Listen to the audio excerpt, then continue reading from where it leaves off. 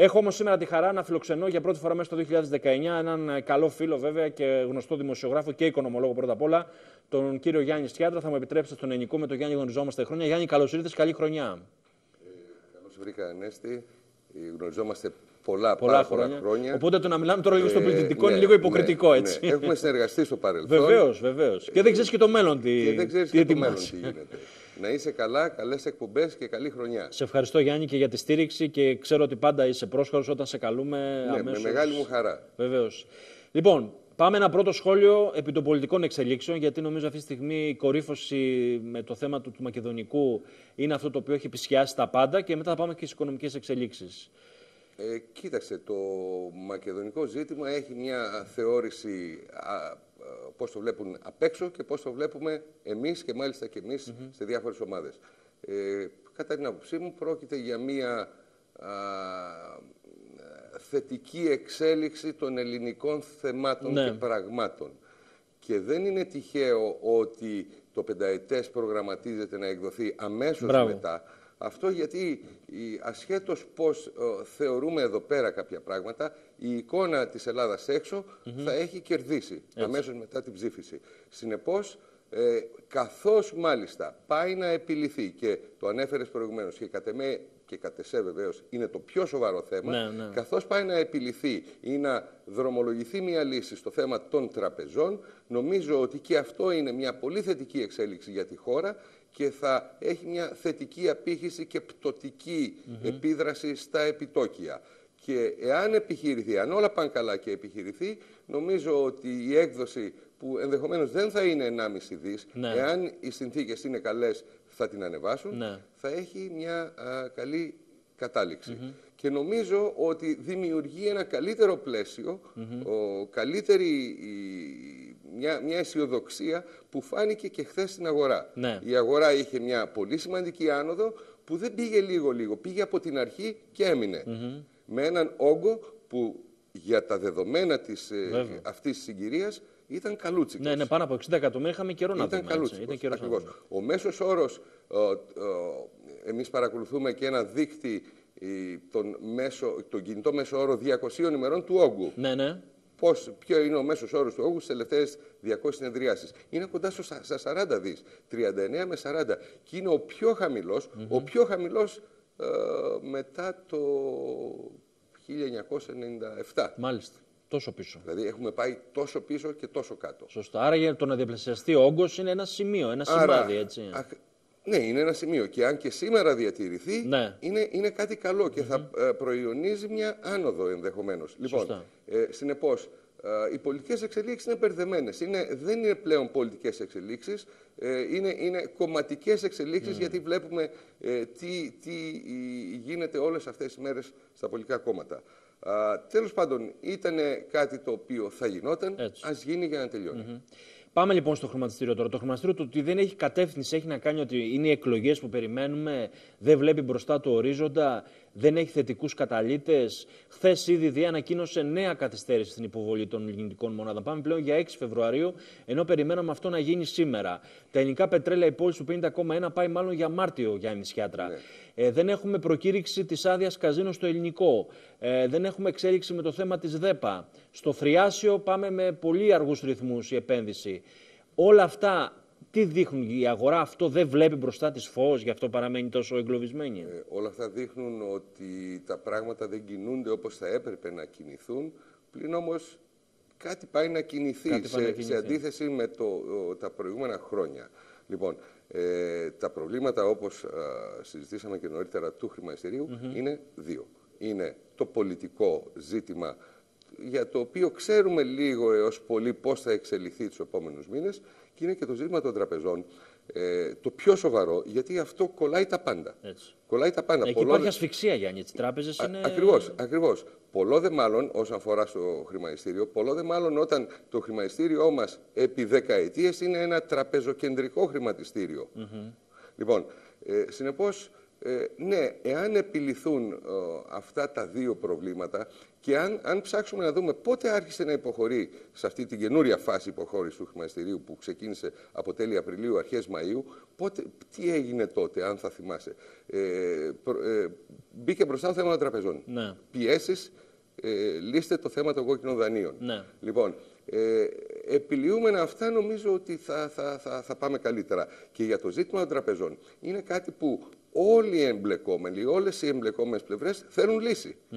Και θέλ, όχι απλά θέλουν λύση, και είναι και διατεθειμένοι να κάνουν τα στραβά μάτια α, και νομοθετικά Ναι, ναι, για ναι, να ναι. βρεθεί λύση. Και μην ξεχνάμε κάτι, Ανέστη, ότι το 2019 είναι έτος εκλογών και για, την Ελλ- και για την Ελλάδα, αλλά και για την Ευρωπαϊκή Ένωση. Σωστά. Και κανείς δεν θα ήθελε σε μια χώρα που αποτέλεσε το στίχημα α, όλων αυτών των ετών, θα μπορέσει η Ευρώπη να σώσει ένα μέλος της. Λοιπόν, νομίζω ότι θα δοθεί ιδιαίτερη προσοχή και θα δοθεί και λύση. Σωστά. Λοιπόν, τώρα να ζητήσω από τον καλό συνάδελφο να δείξουμε λίγο το τεύχος ε, Ιανουαρίου, το χρήμα και αγορά που εκδίδει ο Γιάννης Χιάτρας, ένα πάρα πολύ σημαντικό τεύχος και πάρα πολύ βοηθητικό για όλους αυτούς οι οποίοι ασχολείστε, το βλέπετε, με βασικό θέμα το μέρισμα, η σημασία και η δύναμή του. Νομίζω είναι και η τελευταία γραμμή μαζινό για όσους πραγματικά παραμένουν πιστοί στη χρηματιστηριακή ιδέα, Γιάννη, έτσι δεν είναι; Ακριβώς. Καταρχάς, Ανέστη, αν μου επιτραπεί Ναι, να ναι. πω ότι το περιοδικό είναι πλέον ηλεκτρονικό. Καταρχάς, Ηλεκτρονικό. δύο πράγματα για το περιοδικό. Ξεκίνησε την έκδοσή του το 1990. Βέβαια. Τη Το διακόψαμε μακροβιότερο, το έτσι. δύο- Ε, Απ' τα μακροβιότερα. Ναι, ναι. Βέβαια. ξεκίνησε το 1990, διεκόπη το 2005 ε, και τώρα νομίζουμε ότι ήρθε η εποχή πάλι να το ξαναβγάλουμε γιατί κάτι βλέπουμε μπροστά μας. Μπράβο. Και κάτι έχουμε να πούμε. Με την εμπειρία τριών δεκαετιών πλέον Ε, στον βέβαια, χώρο. βέβαια. Λοιπόν, ε, είναι ηλεκτρονικό περιοδικό. Αυτό που μόλις έδειξες είναι μία εκτύπωση, ηλεκτρονική εκτύπωση ενός ηλεκτρονικού τεύχους. Το βρίσκει κάποιος στη διεύθυνση eurocapital.gr. Ωραία. Να γράψουμε τη διεύθυνση παρακαλώ, eurocapital.gr. Είναι το όνομα της, ε, της Ωραία. εταιρείας μου. Λοιπόν, και ε, ε, έχουμε θέματα τα οποία α, είναι θέματα μελέτης. Ναι. Δηλαδή για το μέρισμα. Α, το, α, το, το, το πλεονέκτημα του ηλεκτρονικού περιοδικού είναι ότι είναι άμεσο. Ε, βέβαια, ναι. Άμεσο. Έτσι. Χθες το- τώρα το γράφουμε σε μία ώρα το έχουμε ανεβάσει. Επίσης, έχει, σου δίνει δυνατότητα απεριόριστου χώρου. Να φανταστείς ότι στη μελέτη για το μέρισμα έχουμε links, πάρα, ε, συνδέσμους, Ναι, ναι. πάρα πολλούς συνδέσμους και σε έναν σύνδεσμο έχουμε μετά από πολύ κόπο ε, καταγράψαμε όλα τα μερίσματα που έδωσαν όλες οι εισηγμένες εταιρείες από την εισαγωγή τους στο χρηματιστήριο. Φοβερό. Πολλές από τις Φοβερή αρχές έρευνα. του προηγούμενου αιώνα. Βέβαια. Χρόνο-χρόνο. Ναι, ναι, λοιπόν, ναι. και αυτό ο, η δυνατότητα εκμετάλλευσης του χώρου, των διαγραμμάτων, όλης αυτής της σύγχρονης τεχνολογίας και βίντεο πολλές φορές, ε, δίνει μια άλλη διάσταση στο περιοδικό και κάνει την ανάγνωσή του μια άλλη εμπειρία. Μμμ. Γιάννη, είμαστε στο μετέχμιο της δημιουργίας μιας νέας επενδυτικής γενιάς στο χρηματιστήριο. Σαφώς. Οι παλιοί έχουν φύγει, έχουν εγκαταλείψει και προφανώς έχει μπει νέο αίμα, έτσι. Έχει μπει νέο αίμα. Α, είμαστε στη φάση Αλλά δεν μπορούμε να το προσδιορίσουμε ακόμα. Δεν ξέρω, δηλαδή. να προσδιορίσουμε τι εννοείς. Να δούμε ποιοι είναι αυτοί. Δηλαδή δε- δεν υπάρχει. δε- Θα μου πεις είναι δύσκολο τώρα Ε, αυτή εγώ να... βλέπω τους ανθρώπους με τους οποίους επικοινωνώ. Ναι. Ή προχθές είχαμε μία εκδήλωση στο Money Show, ε, μία εκδήλωση για το περιοδικό και για το ε, επενδυτικές επιλογές και τέτοιου είδους ζητήματα. Ε, να δούμε ποιοι ήρθαν. Ήρθαν πολλοί από τους παλιούς. Αλήθεια, ε; Ναι, ε, οι οποίοι τώρα είναι μεταξύ των 40 και των ε, 70 ετών. Παλιούς Κι εγώ μέσα συ- είμαι, να- συ- σε αυτή την ηλικιακή συνδρομητές ομάδα μας. είμαι. Και είναι πολύ συγκινητικό να βλέπεις ανθρώπους που του, τους πρωτογνώρισες πριν από 30 χρόνια στο ίδιο περιοδικό. Αλλά ήρθαν και πάρα πολλοί νέοι άνθρωποι που γνώρισαν το περιοδικό μέσα από το Facebook, Μπράβο. μέσα από το site, από σύγχρονες ε, καταστάσεις. Οι άνθρωποι αυτοί δεν έχουν εμπειρία για το χρηματιστήριο. Πολλοί παρακολουθούν, περιμένουν, ελοχεύουν. Ε, εμείς απευθυνόμαστε και στους παλιούς να διορθώσουμε τα λάθη γιατί έχασαν. Ναι. Το γιατί έχασε ο κόσμος ήταν ένα ζήτημα που προσωπικά με απασχόλησε πάρα πολύ όλα αυτά τα χρόνια. βέβαια. και Φέτος προ- κλείνουμε 20 χρόνια από, τη... Ακριβώς. από το Φεβρουάριο Α- α- 99. ακριβώς. έτσι. Και προχώρησα σε, σε πολλές έρευνες, σε πολλή έρευνα. Ε, Έρευνα ετών στην ιστορία του χρηματιστηρίου. Έρευνα επισυστημάτων συναλλαγών, τα οποία όλα σήμερα ε, αντανακλώνται μέσα στην ύλη του, του περιοδικού. Όμως έχουμε μια νέα γενιά επενδυτών και ανέστη, όπως έγινε και κατά τη δεκαετία του 90, ε, όταν θα αρχίσει να κινείται αυτός ο χώρος, ε, θα δούμε ότι υπάρχει ενδιαφέρον ε, και θα ξαναμπεί ο κόσμος. Έτσι συμβαίνει σε κάθε εποχή. Έτσι. Είναι ένας κύκλος που κλείνει και ένας κύκλος Έτσι που ανοίγει. συνέβη. Αυτό συνέβη το 71-72, ιστορικά στοιχεία βέβαια. τώρα. Έτσι συνέβη το 85-86 ε, και στις αρχές δεκαετίας του 90 και έτσι θα συμβεί τώρα. Α, Βρεθήκαμε αυτά τα χρόνια στα χαμηλότερα σημεία. Ο δείκτης σήμερα είναι στα επίπεδα που ήταν το Μάιο του 90. Βέβαια. Τι συζητάμε τώρα; Και χωρίς να τον αποπληθωρήσουμε, δηλαδή ο δείκτης εμπεριέχει τον πληθωρισμό. Αν βγάλουμε τον πληθωρισμό, τα επίπεδα είναι τρομακτικά χαμηλά. Ναι. Άρα είσαι, είσαι αισιόδοξο Γιάννης Σιάτρο ότι βλέπεις ότι το χρηματιστήριο κάποια στιγμή θα ξαναδεί καλύτερα επίπεδα. Καλά, αυτό είναι ιστορική αναγκαιότητα να Ναι, συμβεί. ναι. Είμαι αισιόδοξος γιατί οι κοινωνίες προσαρμόζονται, οι οικονομίες βρίσκουν τρόπους και να πάνε μπροστά, αλλά ε, και οι πολιτικές τελικά ε, προχωρούν.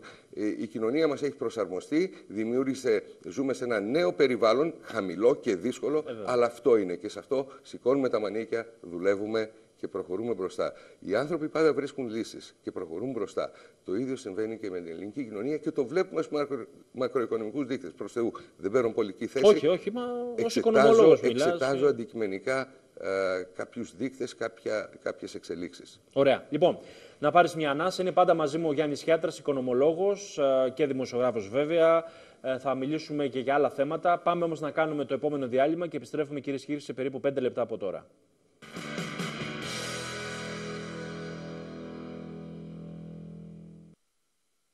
Πάντα μαζί μου ο καλός φίλος, ε, οικονομολόγος, ο κύριος Γιάννης Χιάτρας ε, και ξαναδείχνω πάλι το ηλεκτρονικό τεύχος, το χρήμα και αγορά, να καλέσω τους καλούς συναδέλφους να μου γράψουν το www.eurocapital.gr. Είναι ηλεκτρονικό αυτό το τεύχος, μπορείτε να μπείτε και να το δείτε και να το διαβάσετε και να επικοινωνήσετε βέβαια και με το... Βλέπετε λοιπόν και την ηλεκτρονική διεύθυνση ε, eurocapital.gr, όπου εκεί μπορείτε να δείτε την πλούσια ύλη και την έρευνα που κάνει ο, ο Γιάννης Οσιάτρας μαζί με τους ε, συνεργάτες του.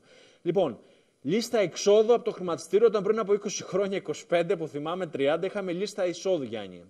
Είναι φαινόμενα καιρών, είναι πλέον, δεν είναι της μόδας, δεν μπαίνει ο άλλος στο χρηματιστήριο, βγαίνουν, επειδή δεν σου προσφέρει κάτι η αγορά, πώς το κρίνεις; Ε, Καταρχάς να πούμε ότι ο, ο αριθμός των εισηγμένων εταιριών έχει μειωθεί δραματικά. Σήμερα είναι 100... Ήταν υπερβολικός Ήταν, όμως. ή- ε; Ναι. Οι 320 εταιρείες, εγώ που θυμάμαι το 99, Ήταν 352, ανώτατος maximum που αριθμός φτάσαμε. ήταν ε, στις αρχές του 2000, στα τέλη του 2000. ναι, ναι, ναι. Εντάξει. 352. Όταν το Μιλάνο είχε τις μισές και εταιρείες, λιγότερες. ας πούμε. εταιρείες, όχι μετοχές, γιατί Εταιρείες, τότε ναι, ναι. θυμάσαι υπήρχαν και οι προνομιούχες Σωστά, μετοχές. σωστά, σωστά. Λοιπόν, σήμερα οι εταιρείες είναι 175, ε, υπάρχουν 7 εταιρείες που έχουν και προνομιούχες Ναι, ναι, ναι, και ναι. πάμε 183 γιατί η ΑΝΕΚ έχει τρεις κατηγορίες. Λοιπόν, είναι ένας πάρα πολύ χαμηλός αριθμός. 175 ποιες όμως έχουν Λοιπόν, πρόσεξε. Εμπνευσιμότητα, ποιες Αν- αξίζει να επενδύσεις; Αν αφαιρέσουμε αυτές που είναι ε, σε αναστολή διαπραγμάτευσης, που νομίζω τώρα είναι 23, Ναι. αν αφαιρέσουμε ε, αυτές που είναι σε επιτήρηση, που διαπραγματεύονται, Ναι, αλλά... αλλά είναι δύσκολο όμως Ε, να ναι. επανακάμψουν. Λοιπόν, ε, κατεβαίνουμε σε 125 περίπου. Ναι, ναι, ναι. Λοιπόν, 125 εταιρείες ανέστη είχε το χρηματιστήριο, μάλλον όχι 125, 118, είχε το χρηματιστήριο το 1933. Πόσο πίσω μας πας συνέχεια. Ναι, δηλαδή, και- πόσο αποτυπώ. ναι, ναι, λοιπόν, τέλος πάντων, οι κύκλοι, οι κύκλοι της, πορείας του, της ιστορικής πορείας του χρηματιστηρίου δείχνουν τι, ότι το, ξεκαθα... όταν το ξεκαθάρισμα και η, η, η μεγάλη μείωση του αριθμού είναι και ένα σημείο πάτου. Μάλιστα. Δηλαδή, σήμερα έχουμε τα απόνερα της, τη- της κρίσης Βεβαίως. για τις εταιρείες που έχουν οικονομικά προβλήματα. Ναι. Γιατί υπάρχουν και άλλες εταιρείες που βγαίνουν με περίεργους τρόπους από το χρηματιστήριο Ναι. και αυτό δεν είναι καθόλου καλό. Συνεπώς, ε, ναι, ξεκαθαρίζουν οι εταιρείες, αλλά από την άλλη πλευρά να δούμε τι έγινε στις, ε, στα τέλη της δεκαετίας του 80, α, που βρισκόμασταν σε ένα αντίστοιχο περιβάλλον ο, και οικονομικό, οικονομικό όχι, ίσως ήμασταν καλύτερα, αλλά α, επενδυτικό ενδιαφέροντος. Όταν άρχισε το επενδυτικό ενδιαφέρον, α, από τις αρχές δεκαετίας του 90, υπήρχε από την άλλη πλευρά μια προσφορά εταιριών. Και σήμερα στην Ελλάδα, στον ελλαδικό χώρο, υπάρχει μία, α, υπάρχουν εταιρείες που θα μπο- τηρούν τις, ε, πληρούν τις προϋποθέσεις να εισαχθούν. Αλλά θα εισαχθούν όταν θα έχουν να κερδίσουν κάτι. Όταν θα τους συμφέρει να, να, να μπουν. Ε, άρα όταν θα υπάρχει ζήτηση. Συνεπώς, θα πρέπει στα επόμενα χρόνια να περιμένουμε να δουλευτούν οι συνθήκες, να δουλευτεί ο χώρος, να ανέβει κάπως ο δείκτης ε, και από εκεί και πέρα θα δημιουργηθεί πάλι το περιβάλλον εισαγωγής. Έτσι γινόταν και στην Ελλάδα και σε όλες τις χρηματιστηριακές αγορές και έτσι θα γίνει και σε αυτή τη φάση. Ναι, ε, η μείωση του αριθμού είναι άλλο ένα στοιχείο ότι ε, βρισκόμαστε στον πάτο αυτής της πορείας. Βέβαια, αναφερθήκαμε και συζητήσαμε στο διάλειμμα στις εταιρείες που φεύγουν ενώ είναι καλές. Ναι. Ναι, θα ήθελα αυτό το σχόλιο για τον Τιτάνα, Γιάννη. Νομίζω είναι. Δε, ο Τιτάνας δεν ξέρουμε καταρχάς. Ο Τιτάνας φεύγει ως διοίκηση από την Ελλάδα, όπως ναι. έφυγε, όπως έφυγε η Βιοχάλκο, όπως έφυγε η Coca-Cola. Όπως έφυγε η Φάγε. Όπως, ναι, ναι, και όπως ενδεχομένως να φύγουν κι άλλες, ασχέτως ναι. τι λένε ναι. στις συνεντεύξεις τους. Λοιπόν, ε, θα έχει παρά η διαπραγμάτευση. Θα έχει διαπραγμάτευση. Αυτό είναι πολύ σημαντικό. Νομίζω από τις ανακοινώσεις της διοίκησης αντιλαμβάνομαι ότι θα έχει διαπραγμάτευση. Λοιπόν, ε, η πληγή που, που, που χτύπησε το ελληνικό χρηματιστήριο τα τελευταία 15 χρόνια ήταν οι δημόσιες προσφορές. Mm.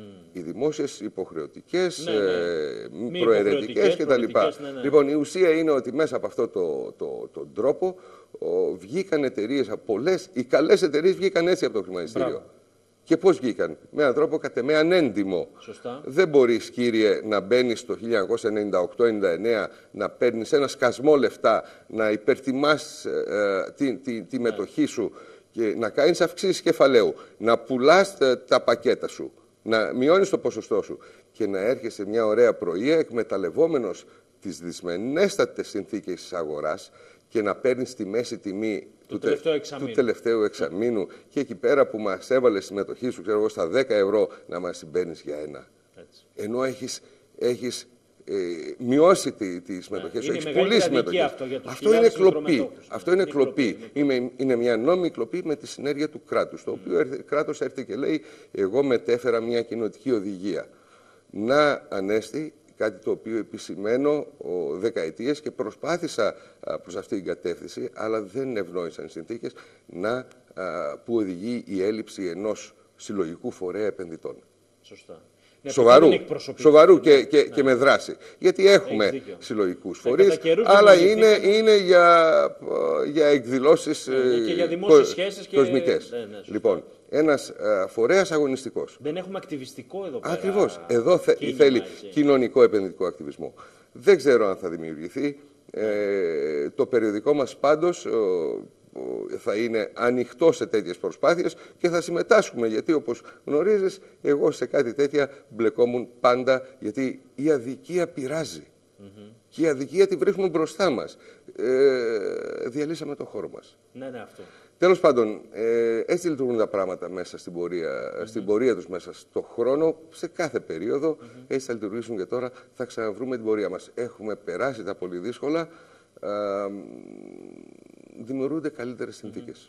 Εκλογές Μάιο ή Οκτώβριο πιστεύεις ότι διευκολύνουν τη χρηματιστηριακή αγορά και τον επιχειρηματικό κόσμο; Ε, Σε εθνικές μιλάω, έτσι. Οι αγορές, εδώ πέρα είναι αυτό. Είναι Γιατί το κάνω πάντα αυτή την ερώτηση. Οι αγορέ οι αγορές αγαπούν τις συντηρητικές κυβερνήσεις, τις φιλικές προς επιχειρήσεις. Σωστά. Λοιπόν, τώρα ποιες είναι αυτές, θεωρούμε ότι είναι ε, το κόμμα της σημερινής αντιπολίτευσης. Ναι. Ε, μέσα από αυτή τη λογική και οπτική, ναι, οι αγορές, ε, οι, οι αγορές θα ήθελαν εκλογές το Μάιο. Να τελειώνουμε δηλαδή. Να τελειώνουμε έτσι. δηλαδή. Ε... Σε διακόπτω γιατί μου λέει ο κύριος Καριτινό που κάθεται στη θέση, που καθόταν στη θέση του τη Πανηγία, ότι λέει: Αν γίνουν εκλογές το Μάιο, εγώ θα κάνω αύξηση κεφαλαίου της Εθνικής Πανηγία το καλοκαίρι. Αν γίνουν τον Οκτώβριο, χάνω την αύξηση κεφαλαίου της χρονιάς. Μου λέει: ναι. Με πάει πίσω. Ναι. Μου το είπε ναι. ανοιχτά ο άνθρωπος. Και πραγματικά. Παίζει ρόλο. Για το ναι. χρηματιστήριο θα ήταν καλύτερα εκλογές να γίνουν το Μάιο για να τελειώνει αυτή, αυτή η κατάσταση. Η αβεβαιότητα και... και... Και έχω μια υποψία ότι θα συμβεί κάτι όπως αυτό που συνέβη το 1990 με την άνοδο της κυβέρνησης Μητσοτάκη, ναι. όπου αποτέλεσε τη θριαλίδα αυτό το, αυτή η εξέλιξη για την άνοδο της αγοράς.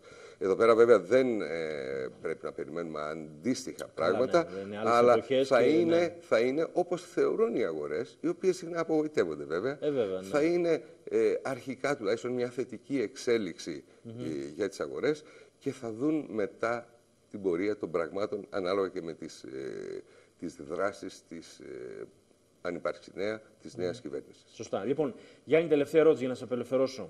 Επειδή ξέρω ότι αφού γκράζεις τον κόσμο, μιλάς με πολύ κόσμο καθημερινά, μιλάμε για μια καταπονημένη κοινωνία, έναν κουρασμένο πολίτη, ο οποίος πλέον μετά από 10 χρόνια προσπαθεί απλώς να επιβιώνει και δεν έχει την προοπτική. Πώς θα πάρει αυτός ο άνθρωπος ένα κίνητρο να ξαναδεί τα πράγματα από την αρχή; Όπως είπες πριν πολύ σωστά, νομίζω ότι όλοι πήραμε τα μάθηματά μας, ο καθένας και προσωπικό επίπεδο από την κρίση. Αλλάξαμε, προσαρμοστήκαμε. Πιστεύεις ή το περισσότερο κομμάτι της ελληνικής κοινωνίας παραμένει πλέον σε μια κατάσταση μεταξύ φθοράς και αυθαρσίας; Γιατί και βιολογικά μιλάω. Όταν τώρα είσαι πάνω από 50-55, χάνεις τη δουλειά σου, βλέπεις ότι τα χρόνια δεν είναι πολλά μέχρι να βγει σύνταξη. Οπότε σου λέει να κάνω κάτι έτσι, να κλείσω ας πούμε τον επαγγελματικό μου κύκλο. Μιλάμε σαφώς για μια καταπονημένη και κουρασμένη κοινωνία που έχει σηκώσει τα χέρια ψηλά. Α, μια κοινωνία η οποία χρειάζεται έμπνευση. αν δούμε ε, παλαιότερες εποχές, ε, τις, στις φάσεις που υπήρχε ένα κεντρικό σύνθημα, η Ολυμπιάδα, η είσοδος ε, στην ΟΝΕ, ε, αυτά έγιναν φάρη, έγιναν σηματοδότες για την κοινωνία και χάραξαν πορεία και εμπνεύστηκε η κοινωνία και προχώρησε μπροστά. Θα χρειάζεται ένα, ένα νέο σύνθημα, μια νέα έμπνευση. να πούμε κάτι για τις εταιρείες. Ναι. και δεν θα α, μακρηγορήσω. Οι εταιρείες που σώθηκαν. Οι εταιρείες μπόρεσαν και, και ξεπέρασαν αυτή τη φάση. Όταν τα πράγματα θα αρχίσουν να βελτιώνονται, θα ζήσουν την πιο κερδοφόρα φάση τους.